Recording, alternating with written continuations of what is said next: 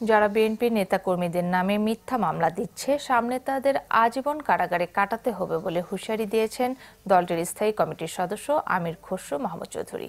বিকেলে চট্টগ্রামে দলের কালো পতাকা মিছিল পূর্ব সমাবেশে তিনি এই হুঁশিয়ারি দেন।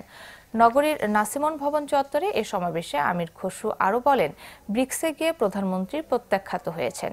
সেখানে কোনো অর্জন নেই। সরকার যত উপায়েই ক্ষমতায় থাকার চেষ্টা করুক না কেন, তাদের বিদায় নিতেই হবে।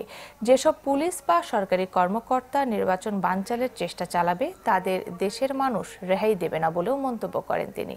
নগর বিএনপির আহ্বায়ক ডাক্তার শাহাদাত হোসেন ও দক্ষিণ জেলার আহ্বায়ক আবু সুফিয়ান সমাবেশে বক্তব্য রাখেন।